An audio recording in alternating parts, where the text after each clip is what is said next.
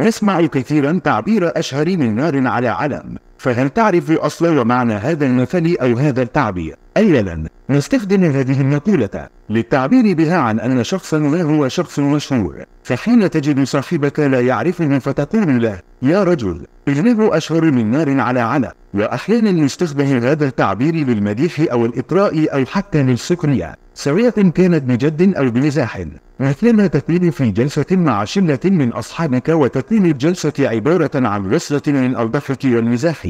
طيب ننظر إذا أصل هذا المثل أو هذا التعبير. أولا كلمة علم هنا ليست كما تعتقد أنها علم الدولة لكن المقصود بها هنا هي الجبل. فالعرب في الأيام الماضية كانوا يشعلون النار على الجبال المجاورة لمساكنهم. حتى إذا مر عابر سبيل وفي حاجة للمساعدة يعرف أن هذه المنطقة مسكونة وبها أناس يمكنهم تقديم المساعدة. وهذه هي قصة التعبير أو المثل الشائع. أشهر من نار على علم. إذا أعجبك الفيديو تكرم بالضغط على زر الإعجاب. وشارك هذا الفيديو مع أصدقائك وشكرا لك على المشاهدة.